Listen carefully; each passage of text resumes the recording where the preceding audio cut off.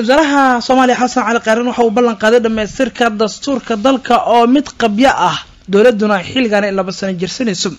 Wasaaraha xukuumadda soomaaliya xasan cali kheyr ayaa maanta soo xiray shirka muqdisho ugu soconaya wasaaradda arrimaha dastuurka ee guddiga la socodka dib oogista dastuurka baarlamaanka ee guddiga madaxa bannaan ee dib oogista ayaa dhammaantoodba sheegaya in la joogo waqtigii la dhammaystiri lahaa dastuurka si loo helo doorasho qof iyo coda kulanka ra wasaare xasan cali waa kulanka ra wasaare kheyre uu ka qayb galay. Xiray ayaa si qoto dheera looga hadlayay arrimaha la xiriira dib oogista dastuurka qorshaha lagu dhammaystirayo sanadka laba kun sagaal iyo toban uu qorsho uu yahay. Ra wasaaraha soomaaliya iyo weliba wasiirka arrimaha dastuurka iyo guddiga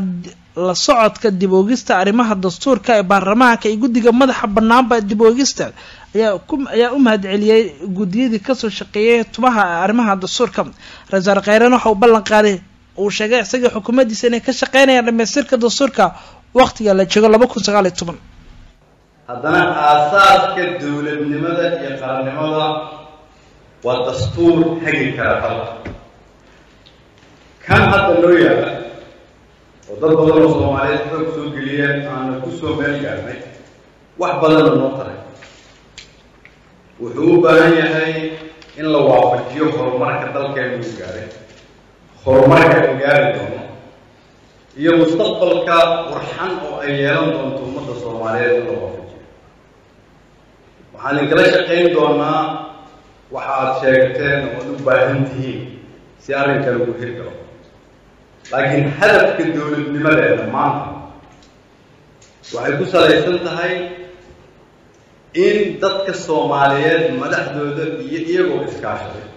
ay iyagu gaaraan go'aanada ah sida ay dowladdooda u shaqeynayso halbeegyada hadafyada shaqooyinka ka ratibma cidda qabanaysa qaabka loo qabanayo. Sida loo maalgeli lahaa madaxweynaha soomaaliyana maanta waxa uu soo xiray shirkii sanadlaha ahaa ee geedi socodka arrimaha garsoorka dalka looga hadlayay oo shalay uun ka furmay muqdisho.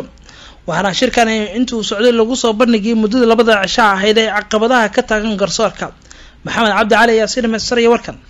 Madaxweynaha soomaaliya maxamed cabdulaahi farmaajo ayaa soo xiray shirka sanadlaha ah ee garsoorka dalka kaas oo shalay ka furmay magaalada muqdisho socdanay shalay ilaa iyo maanta. Khudbada ay jeediyeen qeybaha shaqada kuleh garsoorka dalka oo isugu jira. Saraakiil ciidan garsoorayaal iyo sidoo kale xubnaha wasaaradda garsoorka dalka ayaa waxaa dhammaantood ay isla soo qaadeen oo ay isla qireen in habac garsoor dalka uu ka jiro iyadoo sidoo kalena ay wax ka jiraan cabashada shacabka ee la xiriirta in garsoor hufan uusan dalka ka jirin. Waxaa sidoo kale xubnaha halkaasi ka hadlay ee qeybta ka ah garsoorka dalka ay laftigoodu sheegeen inay jiraan dhaliilo ay qabaan taas oo la xiriirta in meelo aan garsoorka dowladda ahayn in garsoor loo raadiyo sida in dhulalka ay al-shabaab maamulaan dadka ay garsoor u aadaan. Laakiin shacabka qaar ayaa qabaa in marka ay ka waayaan cadaaladii ay u baahnaayeen in ay aadaan maxkamadaha ururka al-shabaab halkaasi oo ay rumaysan yihiin inay ka helayaan cadaaladda ay ka waayeen garsoorka dowladda dhexe ee soomaaliya. Guddoomiyaha maxkamadda darajada koowaad ee ciidamada qalabka sida xasan cali nuur shuute ayaa madasha ka sheegay in sanadkan uu rajeynayo in isbeddel uu ku yimaado garsoorka ay dadka qaar u raadiyaan al-shabaab iyo kan lala soo aado baraha bulshada oo bilihii u dambeeyey aada u soo kordhay. In argagixiso goob ay ku baado dalkan ay dadka ugu yeerato ay meesha ka baxdo oo dalkii mataqaanaa la xureeyo amnigiisa iyo cadaaladiisana laga shaqeeyo sanadkan waxaan rajaynaynaa sanadkan oon hiigsanaynaa in garsoorka dalku uu noqdaa halka keliya ay shacabka ku kala baxaan oo ay meesha ka baxdo in dacwad madani iyo ciqaab toy rabta ha ahaatee xal looga raadiyo siyaasad ama bare bulsho xal looga raadiyo. Madaxweynaha soomaaliya oo shirkan soo xiray ayaa waxa uu sheegay in dowladdiisu ay ka go-an tahay baahitirka garsoorayaasha dalka si garsoorayaasha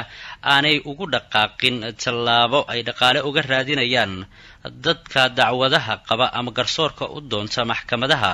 taas oo wiiqi karta sax ahaanshaha dacwadaha ay qaadayaan garsoorayaasha. In aan baahidiina meel saarno oo aan idin siino mushaaharaad idinku filan oo aydan ka raadin wax kale dadka idin hor imaanaya oo cadaaladda idinka soo doontay. Waa ku mahadsan tihiin waan idinkaga mahad celinaya duruufaha adaga ku soo shaqayseen waa garan karaa xanuunka iyo dhibaatada maxaan ku idhaahdaa ay leedahay qofka hadduusan xuquuqdiisa helin. Insha allah waa ku dadaalaynaa. Ugu dambayn waxa weeye cadaaladdu ma dhammaystirna ilaa guddiga adeega garsoorka ah la dhiso. Guddiga adeega garsoorka ahna insha allah waxaan qorsheenaynaa sanadkan inaan horgeyno golaha shacabka inaan horgeyno hadduu eeba yidhaahdo dadkaasna ay noqdaan dad wanaagsan oo iyagana naftigooda ilaahay ka baqaya oo wadaniyad fiican oo ka shaqaynaya sharafka iyo magaca dalkooda iyo dadkooda madaxweynaha soomaaliya maxamed cabdulaahi farmaajo ayaa intaasi kadib waxa uu fursado siiyey dadka halkaasi ku sugnaa si su'aale ay uga weydiiyaan arrimaha garsoorka iyo su'aalo kale oo ka baxsan shirka taasoo keentay in dadka qaar ay weydiiyaan shirka hadda ka socda magaalada london ee ku saabsan shidaalka soomaaliya maadaama muran badan uu ka dhex abuuray qeybaha siyaasadda dalka iyo bulshada soomaaliyeed waana tan keentay in halka uu shirka maanta ka dhacayo ay dad soomaaliyeed oo wata sawirada madaxda dalka iyo boorar kale oo ay ku qoran yihiin waxa ay ka bannaanbaxayaan ay hor yimaadaan howlka shirka uu ka socdo. Shirka looga hadlayo shidaalka soomaaliya ayaa ka furmay magaalada london iyaduna ay horey u jireen digniino ay soo saareen xubnaha xisbiyada mucaaradka ee dalka ka dhisan furitaanka shirka kadib ayaa magaalada maanta waxaa ka dhacay dibadbaxyo looga soo horjeedo shirkaas oo ay dhigayeen muwaadiniin soomaaliyeed oo ku nool magaalada london. Warkaas iyo la xiriira madaxweynaha soomaaliya qudhiis isna ka hadlay shirka ku saabsan shidaalka soomaaliya. Rijaal cabdi maxamed ayaa soo koobaya. Magaalada london ee caasimadda waddanka ingiriiska waxaa koo dhow ka furmay shir lagu suuq geynayo shidaalka soomaaliya waxaana shirkan ka qaybgalaya mas'uuliyiin ka tirsan dowladda soomaaliya uu qeyb ka yahay wasiirka wasaaradda badaroolka ee xukuumadda soomaaliya iyo weliba mas'uuliyiin kas ka kala socota maamul goboleedyada xafiiska ra'iisul wasaaraha iyo xafiiska madaxweynaha soomaaliya hay'adaha caalami ah iyo shirkadda wadda barnaamijkan. Markii shirku uu furmay oo maalmihii la soo dhaafayba ay socdeen eedeymo kala duwan oo shirkan loo jeedinayay waxaa iridda hore ee xarunta uu shirku ka socdo ka bilowday banaanbax looga soo horjeedo kaas oo ay dhigayaan qaar ka mid ah bulshada soomaaliyeed ee ku nool qaaradda yurub dad soomaaliyeed oo ka kala yimid dalalka yurub ayaa buux dhaafiyey.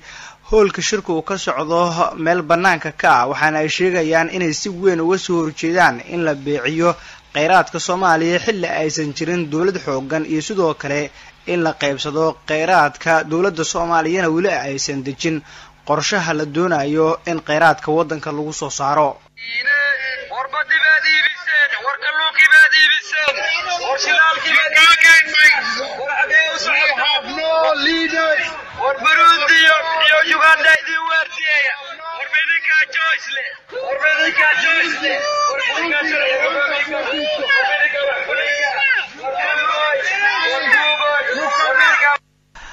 dadkan soomaaliyeed ayaa maalmihii la soo dhaafay waxa ay wadeen abaabulka ay shirkaasi kaga soo horjeedaan maadaama xisbiyada ugu waaweyn soomaaliya ay sheegeen in shirkaas uu yahay mid aan xilligan ku habbooneyn xisbiga uu hogaamiyo madaxweynihii hore ee soomaaliya shariif sheekh axmed. Xasan sheekh maxamuud xisbiga uu hogaamiyo iyo xisbiga uu hogaamiyo cabdiraxmaan cabdishakuur ayaa maalmihii la soo dhaafay waday eedeymo kala duwan kuwaasoo ay sheegayeen in dowladda dhexe ee soomaaliya ay ku degdegtay shirka lagu suuq geynayo shidaalka soomaaliya. Ra'iisul wasaare ku-xigeenka dalka mahdi maxamed guuleed qatar oo lagu wado in shirkaas uu khudbad ka jeediyo maalinta beri ah oo ka ambabaxay magaalada muqdisho. Inta uusan ka duulin garoonka aadan cadde waxa uu faahfaahino dheeraad ah uu ka bixiyey cabashada dadka soomaaliyeed ay ka qabaan. Shirka london ee shidaalka soomaaliya looga hadlayo iyo sidoo kale waxyaabaha ugu waaweyn ee shirkaasi ku xeeran. Safar shaqo ugu baxaya dalka ingiriiska oo aan ilaahay idamkiisa kula kulmi doono jaliyadda soomaalida iyo madax ka tirsan dowladda ingiriiska taasoo qayb ka ah dadaalka dowladda ee loogu jiro in waxqabadka taabagalka ah ee muddadii labada sannadood ahaa hirgalay lala wadaago jaaliyadda soomaalida meel kastoo ay joogto iyo in aan xoojinno xidhiidhka soo jireenka ah ee dowladda ingiriiska iyo u dhexeeyey soomaaliya muddada dheer ee taariikhiga ah kaasoo ah xidhiidh aada u wanaagsan xoojintiisa iyo sii adkayntiisuna mar walba labada dhinac ay xil weyn iska saaraan madaxweynaha jamhuuriyadda soomaaliya mudane maxamed cabdulaahi farmaajo oo maanta khudbad ka jeedinaya shirka garsoorka dalka ee lagu soo xiray magaalada muqdisho waxa uu sheegay in shirkaas uusan ahayn mid la doonayo in xilligan lagu iibeeyo shidaalka soomaaliya isagoo madaxweyne farmaajo sheegay in shirkan uu yahay carwo lagu soo bandhigayo kheyraadka ay leedahay soomaaliya oo shidaalku qeyb ka yahay. Madaxweynuhu waxa uu sheegay in loo baahan yahay in dadka soomaaliyeed ay isku tashadaan isla markaana ay la soo baxaan kheyraadkooda si horumar wanaagsan looga sameeyo hanaanka dowladnimada oo xilligan dalalka caalamku ay taageeraan. Farmaajo ayaa sidoo kale xusay in muddo toban sano ku siman loo baahan yahay in kheyraadka soomaaliya la tijaabiyo oo dadku ay la soo baxaan. Shirkan waxaa lagu soo bandhigi doonaa xirmooyin konton balokis ah oo goobaha shidaalku ceegaago ee soomaaliya kuwaas oo dhul ahaan ku teesan boqol toddobaatan iyo saddex kun oo kilomitir qorshaha lagu suuq geynayo ayaa socon doona ilaa iyo kow iyo tobanka bisha julaay ee sanadkan labada kun iyo sagaal iyo tobanka sida ay sheegtay shirkadda waddo qorshahan. Shirkan waxaa baabulay xukuumadda federaalk ee soomaaliya shirkadda sam oyel oo magaca bedelatay loona bedelay shirkadda spectrum ee laga leeyahay dalkaasi norway. Madaxweynaha soomaaliya isagoo soo xiraya shirka looga hadlayay arrimaha garsoorka ayuu soo hadal qaaday shirka maanta ka furmay magaalada london ee cariga dalka britain ee looga hadlayo shidaalka. Muxuu ka yeeriyay shirkaasi madaxweyne farmaajo? Arrinta batroolka markaan u soo noqda marka. Arrinta batroolka sesmic yaa la sameeyey daataa la aruuriyey dowladdii tan ka horreysay yaa daatadaas maxaan ku raahdaa kambani ku siisay kambanigii daatadii wuu hayaa daatada maxaa lagu samaynayaa marka ilaan dalkii waxaa la yidhi potential.